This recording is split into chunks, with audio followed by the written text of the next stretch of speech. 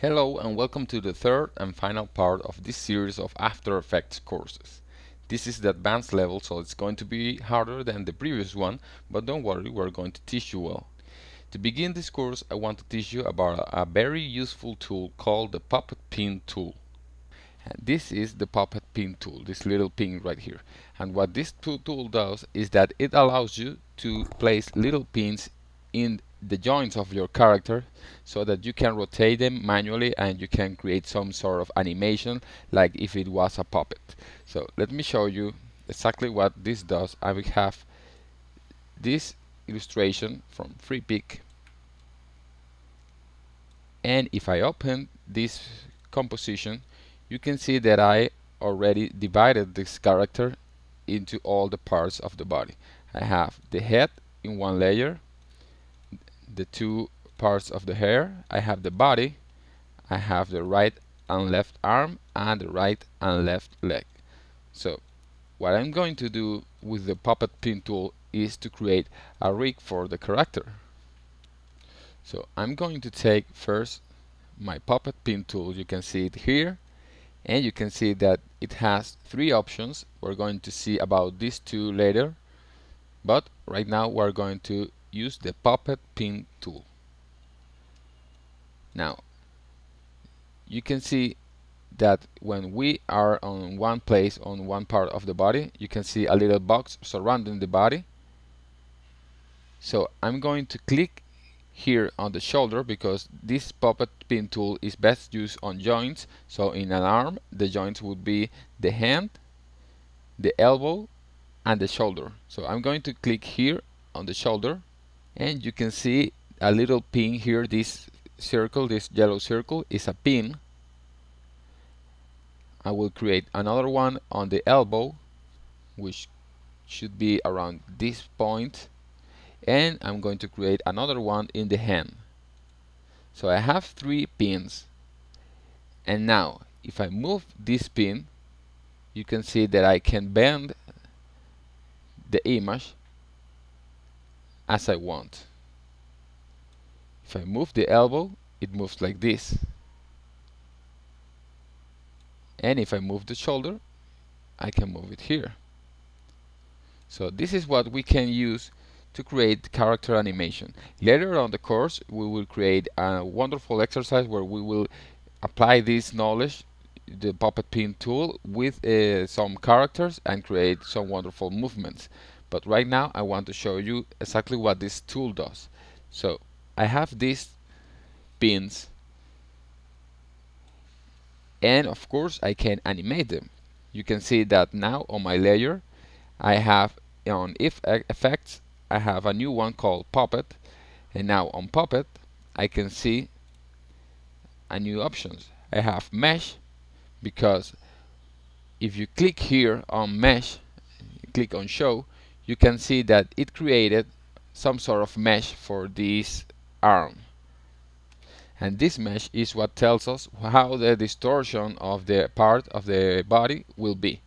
I can change the expansion because it's way too big right now. I will leave it as zero.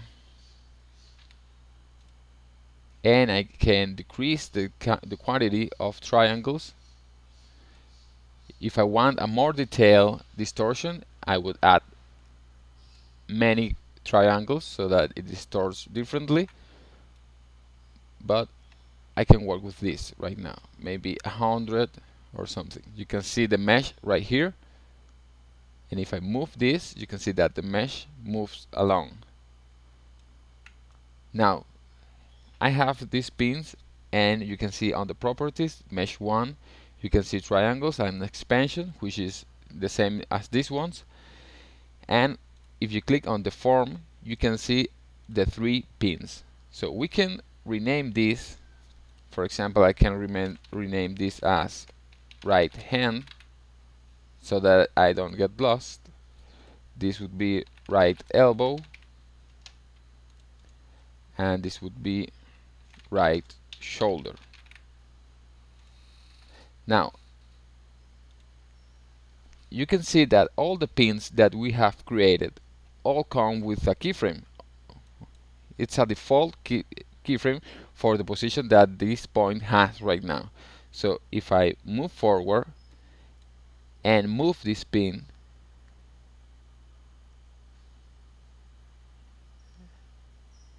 I created an animation.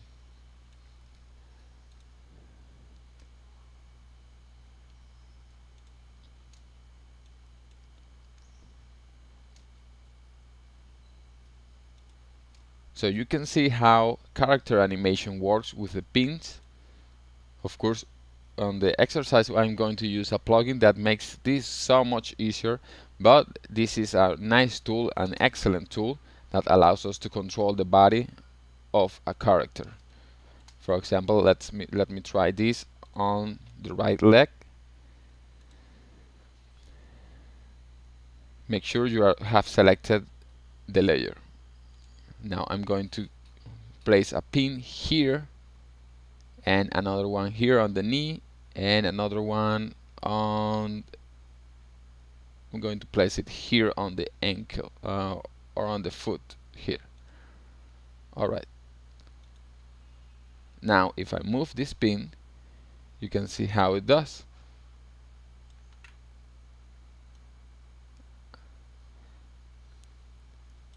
so if I want to create a walking cycle I could grab these two pins. You can grab two pins by clicking on one and with shift clicking on the other one. I could create something like this. You can see she's kind of dancing right now. And you can see that she is not moving in this point because this pin is stiff right now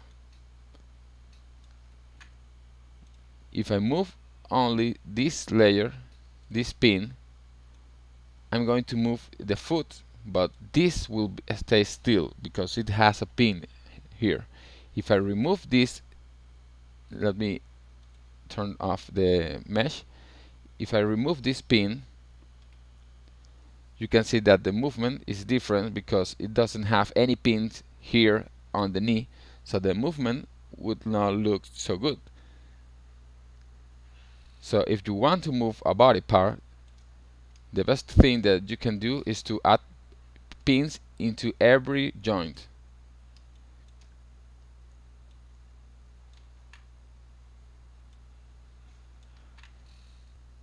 But of course it doesn't necessarily have to be on body parts. You can place a pin here on the head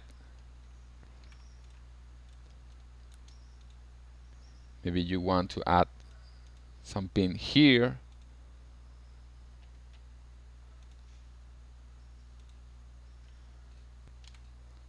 maybe one on the cheeks and we can move the face in a weird way.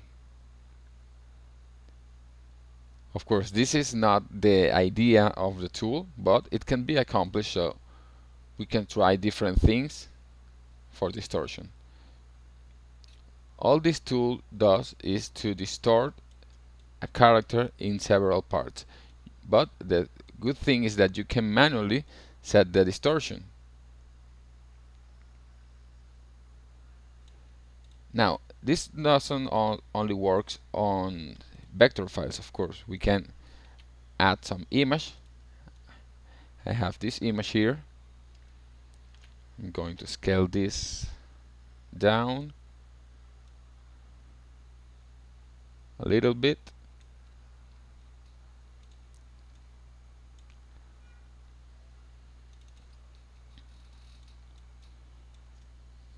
And okay I have this guy doing lifts and I'm going to create a pin here on the shoulder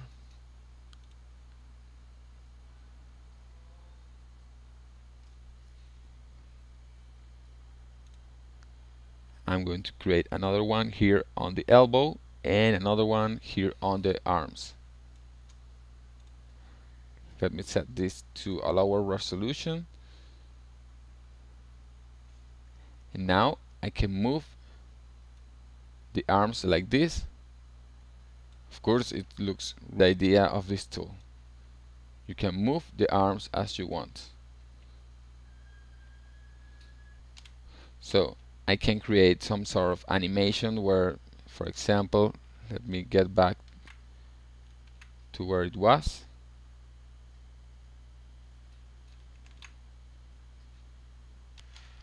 And I'm going to take these two pins. I'm going to open my properties here. You can see that they already have keyframes. I'm going to take these two and move one second and I'm going to move them like this. And then on the next second I'm going to copy the first keyframes.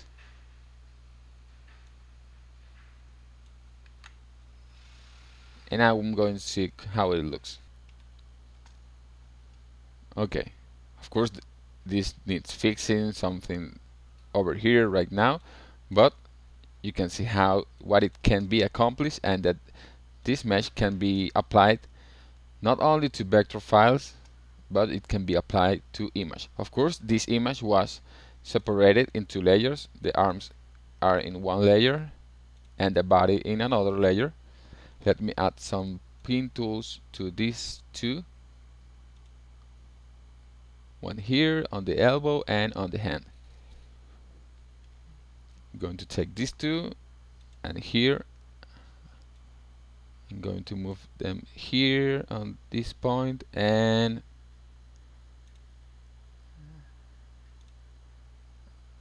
I'm going to copy the sphere's keyframes here.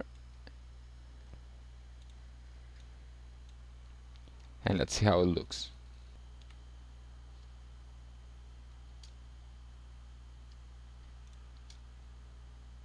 Alright so you can see that we can do this to images too. So it's a really fun tool. We can create great things with it like the character that we just animated. And later on the course we will create a character animation based entirely on this puppet tool and another great plugin that I'm going to teach you about. So we will create some movement for this for the body for the arms for the legs and we will create some nice animation with a nice character from Freepik so but you can you see how cool the puppet pin tool. Now on the next lesson I'm going to teach you about the other two options on the puppet pin tool